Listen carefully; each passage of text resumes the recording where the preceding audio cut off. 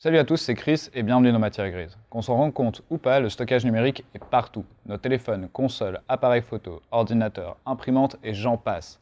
Au final, on le côtoie tous les jours sans forcément comprendre son fonctionnement réel, ni même son histoire. Tu trouves pas ça bizarre, toi? Enfin bref, dans cet épisode en deux parties, on va retracer l'histoire du stockage numérique et essayer de comprendre comment le stockage a évolué pour s'adapter aussi à nos besoins et nos productions de données grandissantes. C'est parti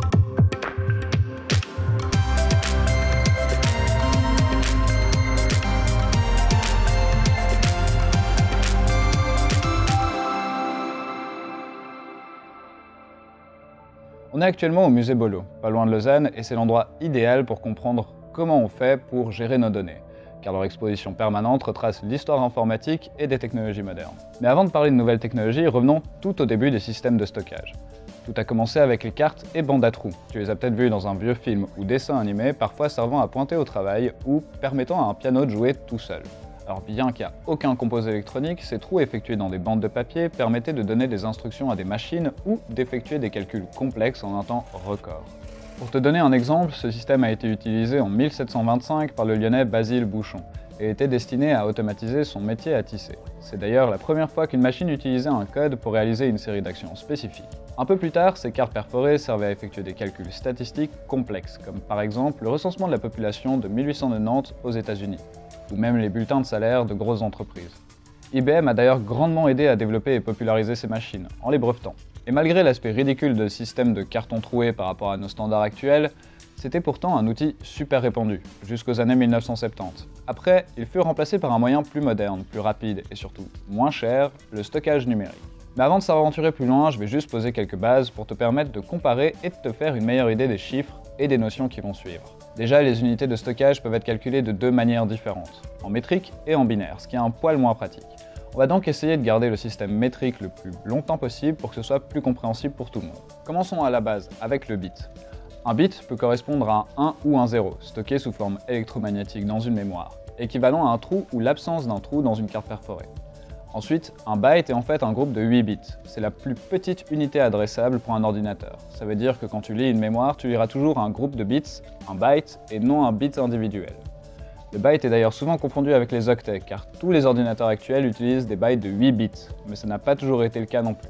Enfin bref, passé ce stade, on en revient à un système plus facile à calculer avec le kilobyte qui représente 1000 bytes, le mégabyte qui représente 1000 kilobytes, le gigabyte qui correspond à 1000 MB, suivi du terabyte, petabyte et yottabyte sur le même principe. Et histoire d'avoir une idée plus concrète, dans ce disque d'un terabyte, ce qui est une capacité très répandue, on peut stocker plus de 1000 heures de films, plus de 620 000 photos, 34 000 heures de MP3 ou encore le chiffre ridicule de 85 899 345 pages dans un unique document Word. Mais avant d'arriver dans la main du consommateur, l'humanité a expérimenté et vu passer bien des technologies pour stocker des données, plus ou moins utilisables. Prenons par exemple les tubes de Williams, inventés en 1946. Ils employaient le même genre de tube cathodique que pour les vieilles télévisions, mais pour y stocker des données. En allumant ou en éteignant certains points à la surface du tube, ils pouvaient créer une multitude de combinaisons différentes. Ce type de stockage prend le nom tiré de son fonctionnement. Mémoire à accès aléatoire, ou pour nos amis anglophones, Random Access Memory. Tu reconnais cette abréviation? Eh oui, on pourrait techniquement considérer les tubes de Williams comme un des plus vieux ancêtres de la RAM présente dans les ordinateurs actuels ils n'ont simplement jamais eu de grand succès. Le random access signifie que où que l'on lise ou on écrive les données, cela se fait toujours à la même vitesse, contrairement au disque dur ou au CD par exemple, où le temps de lecture-écriture dépend de l'endroit où l'on lit ou écrit les données. Il faut se dire qu'à peine 5 ans plus tard, un nouveau type de mémoire était bien plus répandu auprès des grandes administrations et entreprises, même le département de la défense des États-Unis, la mémoire tambour. Cette mémoire tambour fonctionnait en faisant tourner un large cylindre recouvert d'une substance magnétique. Tout autour, on trouve une série de têtes qui permet de lire ou changer la polarité sur le long du cylindre. Et même si cette machine était énorme, elle ne pouvait pas stocker plus de 17 kilobits et avait des temps d'accès plutôt horribles. Pour régler les problèmes de latence et de temps d'accès, on vit apparaître la mémoire à tort magnétique, une nouvelle forme de mémoire vive qui enverra les tubes de Williams aux oubliettes. La mémoire à tort magnétique est construite et formée de films métalliques et de petits anneaux appelés tors, composés eux de ferrite. Chaque tor correspond à un bit de données et peuvent être activés ou désactivés grâce à des impulsions électriques envoyées à travers les fils qui les relient. Grâce à son fonctionnement sans partie amovible, les temps d'accès étaient bien supérieurs à ceux de la mémoire tambour par exemple, et pouvaient atteindre jusqu'à 150 kilooctets par mètre cube.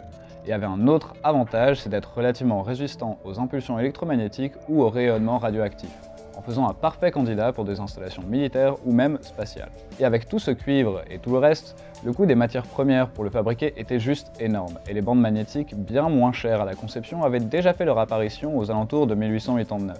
Et même si les bandes magnétiques servaient d'abord de support audio, elles ont également servi à enregistrer des données informatiques, et ce pour la première fois grâce à l'Univac Uniservo One.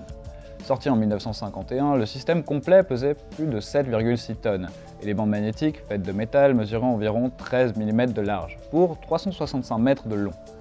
Heureusement, avec le temps, la taille des bandes magnétiques diminue, leur capacité augmente et leur fabrication devient plus simple, moins coûteuse. Avec l'arrivée du Walkman par Sony et des cassettes VHS, les cassettes à bandes magnétiques sont devenues rapidement populaires sur le marché, et ce pendant longtemps, que ce soit pour regarder des vidéos, écouter de la musique ou stocker des données.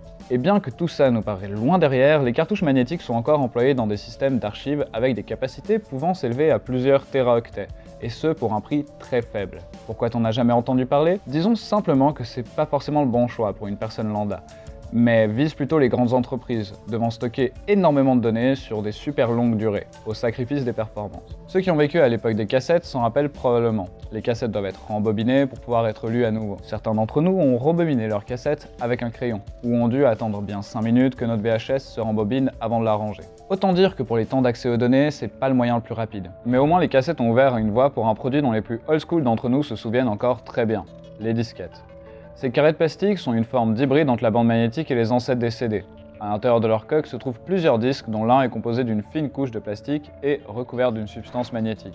Lancés par IBM, leader des innovations informatiques à cette époque, les disquettes ont commencé dans un format assez large, d'environ 20 cm, et pouvaient stocker jusqu'à 256 kilooctets.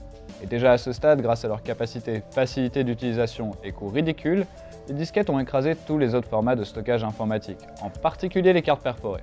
Mais un peu avant l'adoption générale des bandes magnétiques et des disquettes, IBM avait lancé le Ramac 350, une gigantesque armoire que l'on pourrait comparer aux disques durs modernes, mais destinée principalement aux banques. Dans chacune de ces armoires se trouvait une série de 50 disques de 60 cm de diamètre, tournant à 1200 tours minute et accompagné de deux têtes de lecture-écriture pouvant se déplacer et changer de plateau en moins d'une demi-seconde. Avec une capacité de 5 mégaoctets, sa taille titanesque et son prix de 50 000 dollars, son introduction sur le marché fut plutôt difficile et ne s'est vendue qu'à un millier d'exemplaires.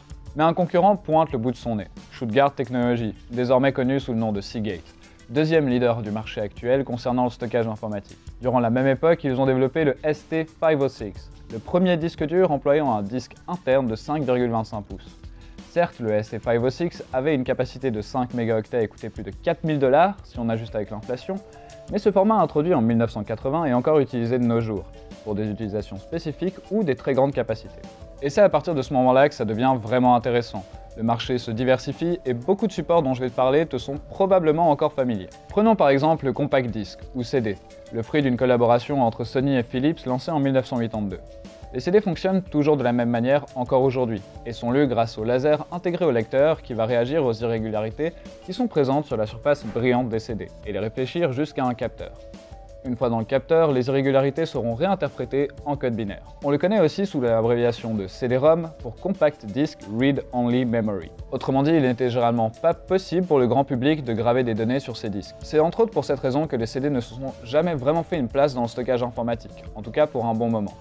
À la place, une nouvelle génération de disquettes appelées ZIP dominait le marché, puisqu'elles étaient réinscriptibles, même si leur capacité était 5 fois inférieure à celle des CD de la même époque. Cette option arrive quelques années plus tard, avec le CD RW, qui permettent de graver ou de réécrire plusieurs fois des données sur ces derniers tant qu'on est équipé avec un graveur CD. Mais bien que les CD soient encore largement employés pour stocker et lire des fichiers audio ou plus rarement des drivers fournis lorsqu'on achète un produit électronique, ils ont tendance à disparaître du marché. Sans oublier que de plus en plus d'ordinateurs ne prennent même plus la peine d'être équipés de lecteurs de disques. Il faut quand même se rendre compte que même les audiophiles n'y avaient pas leur compte. Ces CD avaient une capacité record de 870 mégaoctets.